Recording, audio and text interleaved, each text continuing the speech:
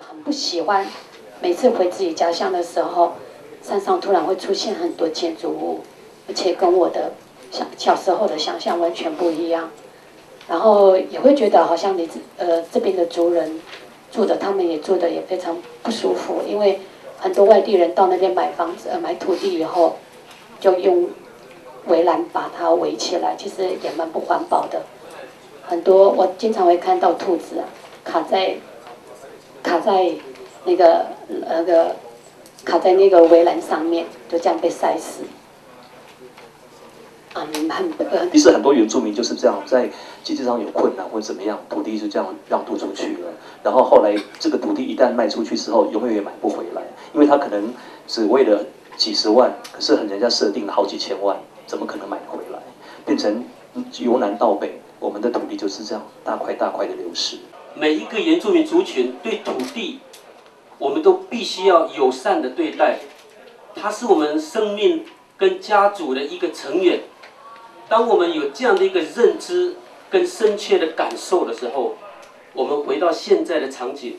试问我们原住民所持有这些土地，从南到北，从东到西，可以开发利用的观光发展的地段，哪一个不是财团在那里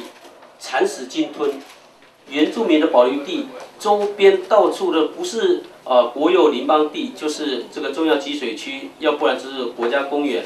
那么或是三三宝地所限制的，所以在层层都是限制下，就像是我们原住民这个狩猎民族认为是都是陷阱，因为有非常多的族人是已经入森林或是河川地，主要河川地或野溪啊，怎么使用，怎么开发？像三家律师在讲的南部的，呃，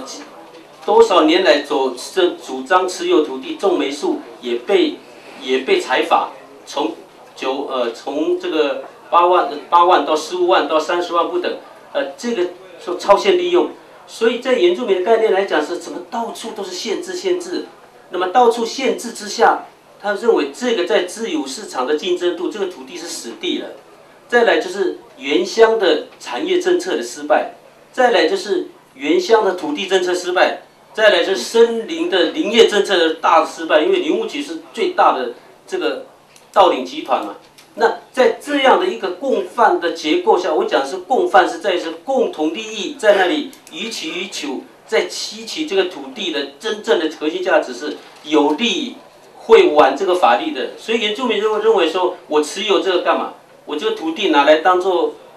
古董来展览用啊？所以在孩子结婚，甚至说小孩子要就学，在逼不得已，这些财团都会透过在地最熟悉的，或说。啊，也是明代的，也是会这个，呃，当然不隐射，然后会了解的，就当做是土地掮客，在那里穿针引线，然后在那边做整个财团，而不止财团，还地方的一些政府大开那个方便之门。所以为什么这个山地保留地管理办法早期的山地保留地管理办法，又把从山主要的母法是《山坡地保育利用条例》三七条延伸出来的。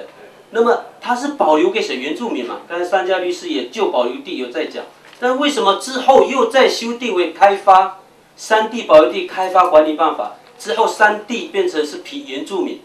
为谁而开发？为谁而设定定定开发办法？所以这些都是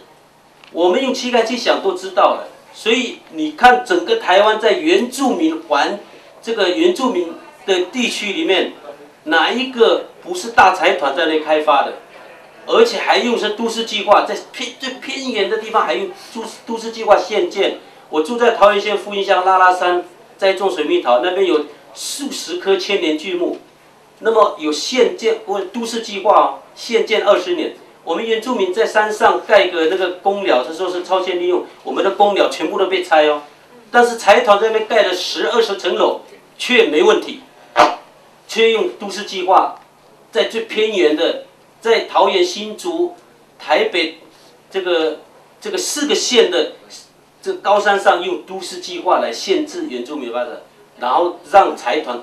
开方便之门。所以这个就是非常非常吊诡，而且这个是真的是会